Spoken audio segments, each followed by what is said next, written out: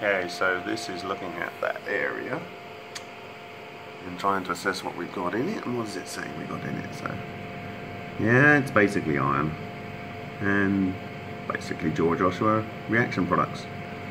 Let's see the uh, data coming up here.